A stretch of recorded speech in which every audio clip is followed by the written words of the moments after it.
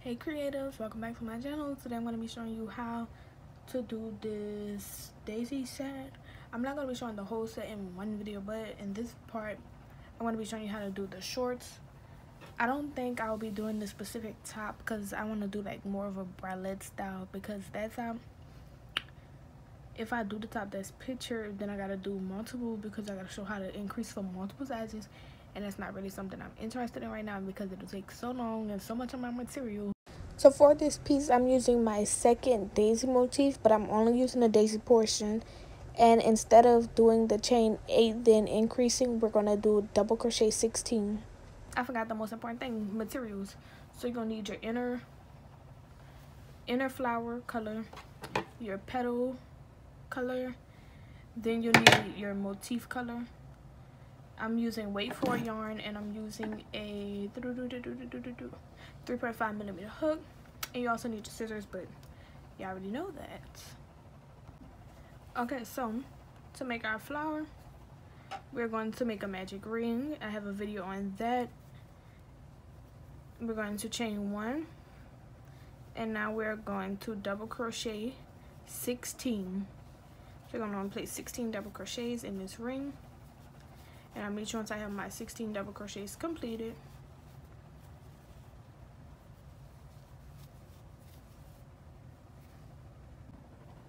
Okay so I have my 16 double crochets done. I got ahead of myself and finished it off. But once you're done you're just going to want to slip stitch into the top of that first double crochet. I'm just going to pull my yarn through. And now we can move on to the petals so like i said i'm not really going to go into detail about this because i already have a video on it. But i did want to show you how i did that because it's different than the video. I'll have my video linked in the eye somewhere on screen at any point in this video. So yeah i'm just gonna do my foundations then i'm gonna do my chains.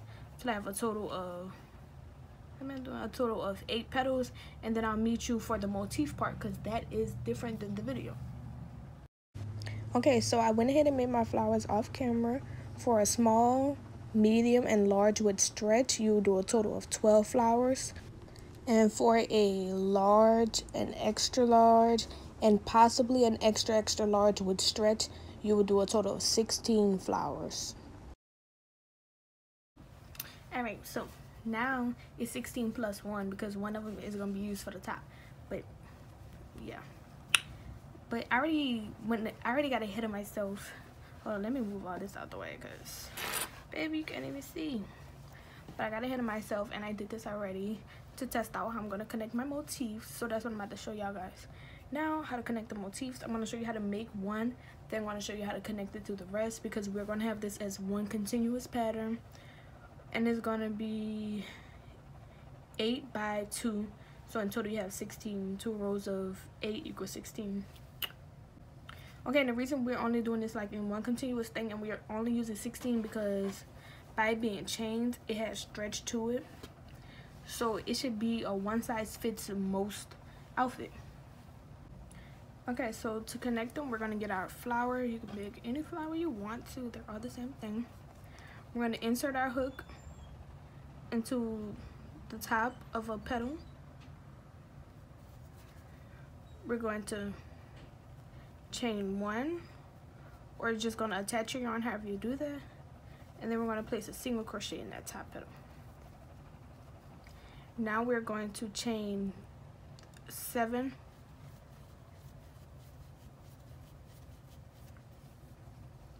we're going to extend it half double crochet two petals together or you can do a double crochet two together. I prefer to do the extended double crochet and then treble crochet. Then we're going to chain seven again.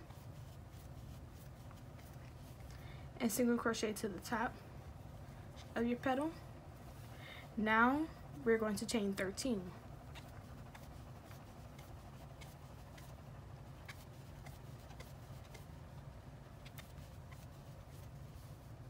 we're going to single crochet to the top of our next petal and now we're going to repeat what we did here so you're going to have this done a total of four times. This is one, then it's going to be two, then it's going to be three, and then we're going to do it again for four. So you should have four corner spaces, and you should have a total of eight of these middle space stitches. So again, we're going to chain seven. We're going to do an extended double crochet here. Then we're going to yarn over and we're going to treble crochet this side. We're going to chain seven again. We're going to single crochet to the top. Now we're going to chain 13.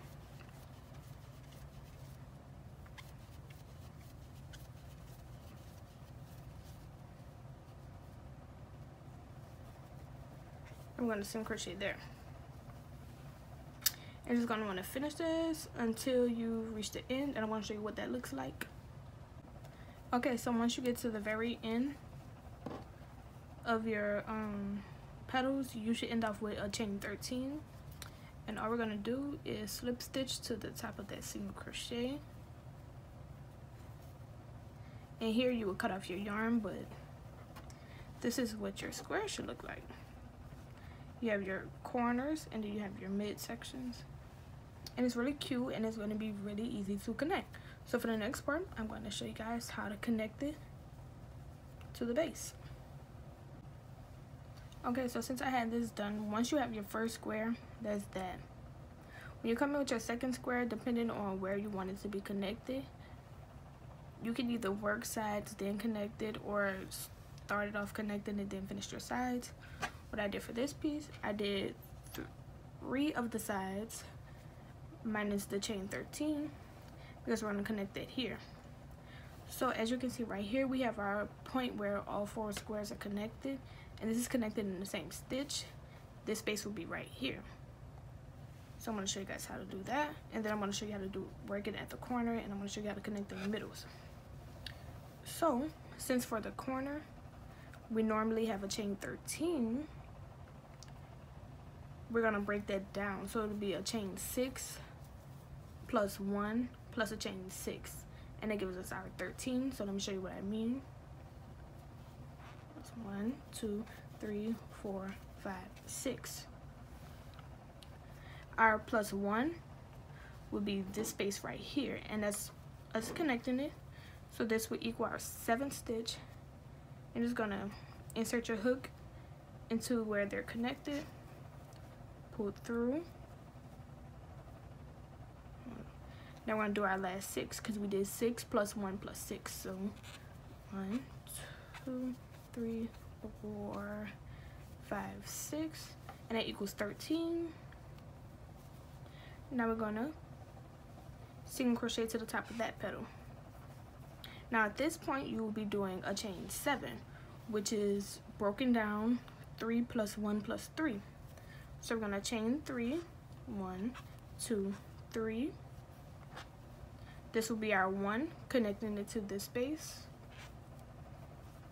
And we're gonna chain three.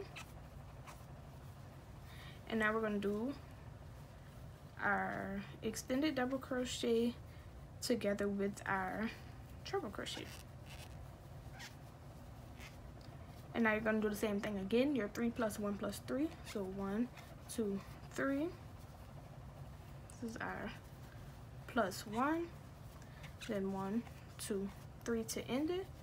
And we're to single crochet to the top of our next petal so now we're on our last stitch and this will be a chain 13 but remember broken down is 6 plus 1 plus 6 so let's do our 6 1 2 3 4 5 6 plus 1 plus 6 1 2 3 4 5 6 and remember, we're gonna end with a slip stitch right here. And now we can cut this off. You can leave your tail as long or as short as you want. But it's up to you to weave it in at whatever point you want to. But now you see we have that connected. Oops, sorry for shaking that out. But now you see we have this connected and it's gonna look exactly like this. So what you're gonna do is continue this. You're gonna have your row you're gonna have two little, oh, yeah, two rows by eight columns. Blah, blah. You're gonna have two by eight. Yeah, two by eight. So once you have your completed two by eight, then I'll meet you back to show you what we'll do from that point. I'm gonna show you how to connect it all together. All right, y'all, so here we are now. I have 15 squares done. So if you're doing the large, extra large, or extra, extra large, you'll do 15 squares and leave one blank. If you are doing the small, medium, and large, you will do 11 squares and then leave one blank because this will be the square that we use to connect this, this, and this, okay? So, what you want to do is fold your piece so that your missing square is in the middle. So this is the middle. We have a row and then we have half a row. A row, half row, row, half row. Then we have this, which is the middle. And this will be our front and back. So we're going to connect it here and we're also going to connect it to this side to form the shorts. I'm going to show you guys how to do that. Okay, so since we have to do four points of contact, one, two, three, and then four we are going to start this piece off in a corner. So we're going to do our chain six i mean we're going to do a single crochet on top and then chain six to start then attach it and work our way around. So that's what i'm going to do. I'm just going to show y'all like how to start it off i'm not going to show y'all how to attach it because i already showed that part earlier in the video and then I'm going to show you how to attach it to form the crotch. So one, two, three, four, five, six. I'm going to attach it to a corner. One, two, three, four, five, six. Uh, attach it to this corner if you need like this part explained in depth you can message me on any of my social medias and I will give you a walkthrough of it if it's really necessary. I'm gonna finish connecting this around and I'm gonna come back for the crotch. Okay, so now we're where we wanna be. You finished off this corner space and you should only have to do your chain seven work them together then chain seven. But in our case our chain three connect chain three then attach them together chain three connect then chain three and slip stitch to end. So if you've done a total of 16 squares once you fold it in half you should have the middle row two full rows one two and then you should have half rows. If you did 12 you should have two full rows on the side ignoring this all together but you should have this one strip that's in the middle. So to connect that after you have your chain six and single crochet to the top of the petal make sure you have your wrong sides together and your right sides out. You're going to chain three. Attach your yarn however you want to to this middle space chain three. We're gonna do extended double crochet so we're just gonna go through one go through two. Now we're gonna do a treble crochet over here. So pull through two pull through two pull through two.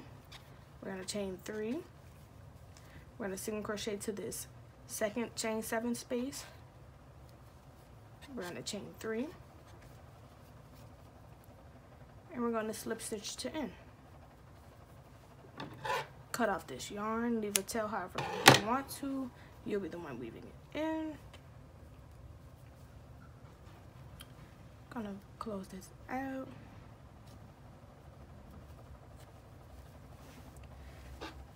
And now you have your crotch area done.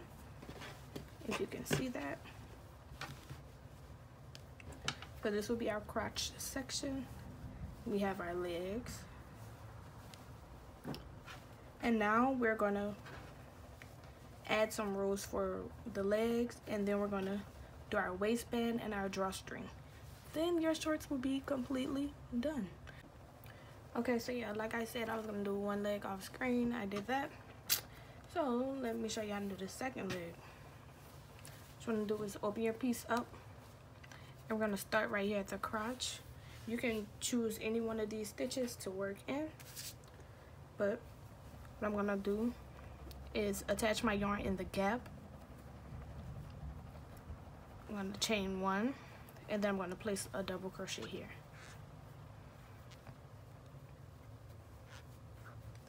Now I'm going to chain four. And wherever you're at a corner, whenever you're at a corner space, you're gonna place a double crochet in the gap.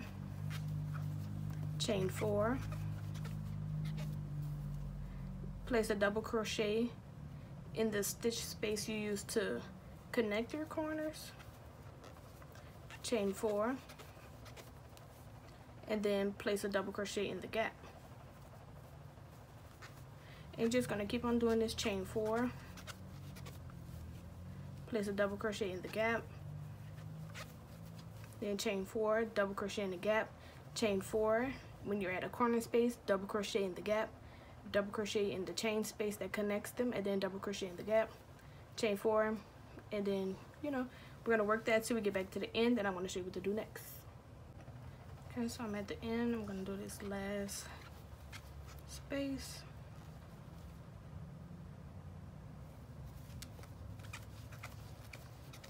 if you get to the end we're gonna slip stitch to the top of that first double crochet. But once you get to the end if you I want you to try it on after you do your first row. If it's too big take it a loose and then chain three. If it's too small try chaining five or six but six is the most that I would chain for this portion.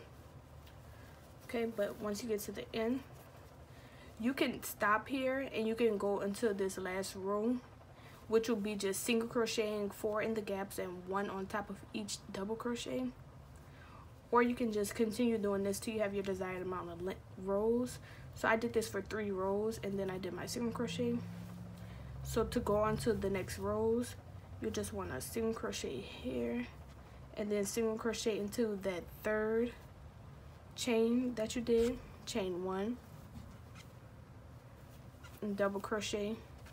Then you'll you'll repeat your pattern until you reach the end but that's how you do it to change rows.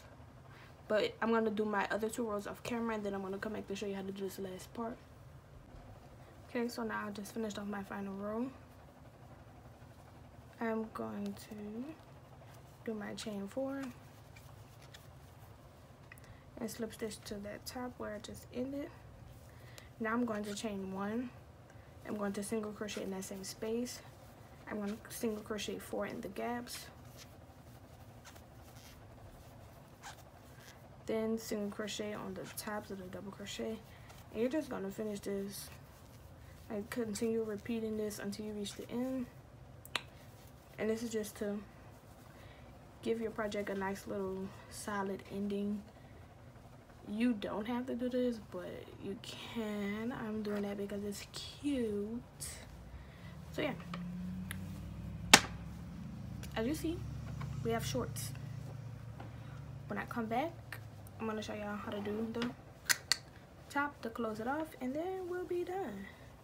Y'all i'm really loving this. I did my thing. Okay so now we're gonna work this waistband. You can change colors if you want to and use like a white or like if you did white for your petals it'll be cute if you do white for this part too. But i use this speckle color and uh, yeah i don't really know how that's gonna pan out for my waistband so i'm just gonna use pink again. This is a lot of pink.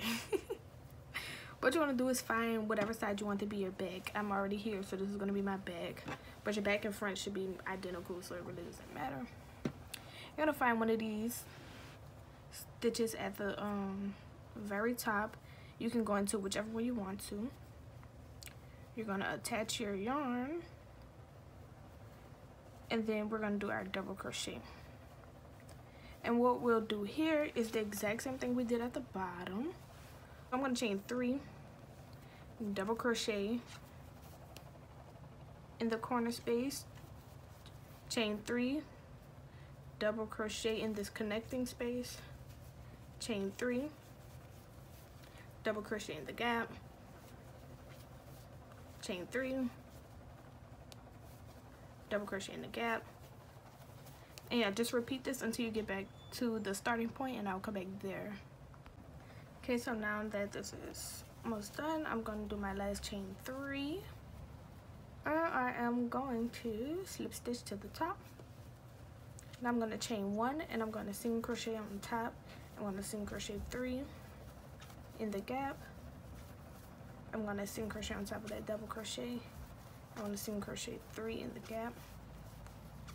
And you're going to do this all around and I'll meet you back at the end. Okay so now that I have this done I'm going to slip stitch to that first single crochet that I did. Then we're going to chain up two. And you're going to double crochet in the next space this first chain two will count as a double crochet. We're going to chain two skip two and then double crochet two. And this will be so we have a place to put our drawstring. So now I'm going to chain two skip two double crochet two. And you're going to repeat this until you reach the end and I'll come back at that point to show you what to do from there. Okay so now I'm at the end. I'm going to do my last two double crochets in. I'm going to slip stitch to the top of that chain two. Now I want to chain one. And for this row we're going to single crochet on the top of the double crochet and single crochet in the gaps. And this will help us end off our piece nice and cute. Girl I'm messing up but yeah this will help you give this will help give you a cute little finish? And it looks nice and uniform. So that's the last thing you'll do. I'm gonna go to the end and come back and show you guys how to do the drawstring i guess if you need help with that.